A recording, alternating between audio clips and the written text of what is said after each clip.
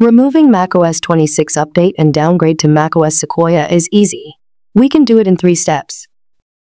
First, back up your Mac completely. Downgrading or removing the beta profile will erase it to its factory default. The second step is to create a bootable drive on a Mac. Then, the third step is to install macOS Sequoia on your Mac. Let's get started.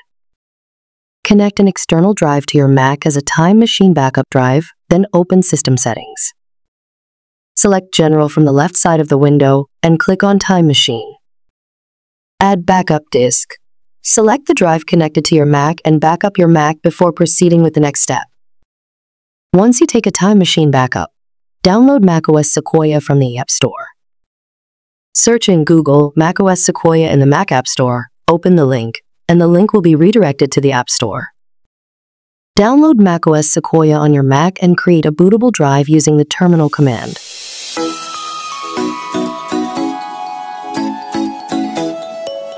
Don't continue with the option, quit installing macOS from the top menu, and select the quit option to close the installation window. As you can see on the video screen, the recently downloaded macOS Sequoia file is saved under the Finder in the Applications folder.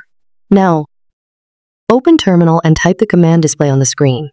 Replace volume with your drive name. Now, hit the return key to run the command and enter your MacBook login password.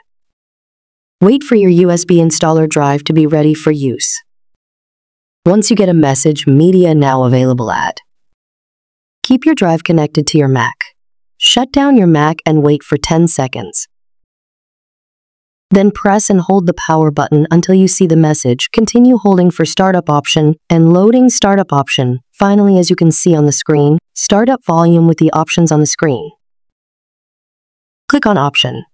As you can see, my MacBook is in macOS recovery screen. Select account and enter your MacBook login password and continue with the option. And select disk utility from the window pop-up and continue with the option. Here, you have to erase your drive because we cannot install macOS 15 on a macOS 26 installed drive. Select Macintosh HD from the left side of the window and select the Erase option from the top of the window. Continue with the Erase Mac option. Select Erase Mac and the Restart option.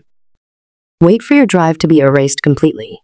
Your MacBook will reboot once and show the active Mac screen. Connect your Mac to Wi-Fi from the top right corner of the screen. Enter your Apple ID and password that you used for macOS 26 Tahoe. After verify successfully, finally, your Mac is activated.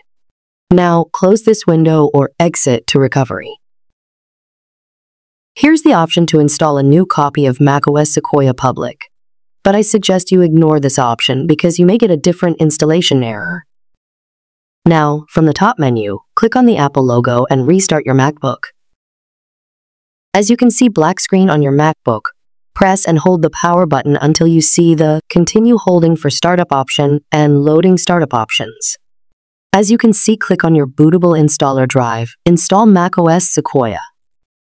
Continue with your language, and follow the on-screen setup and continue. And start macOS Sequoia installation. Wait and select Primary Installation MacBook Drive. Here I am selecting Macintosh HD and continue. Wait for the installation to complete itself. During the installation, your MacBook will restart many times.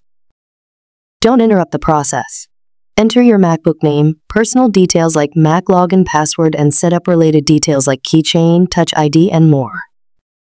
As you can see, my MacBook is updated with the macOS Sequoia final public version.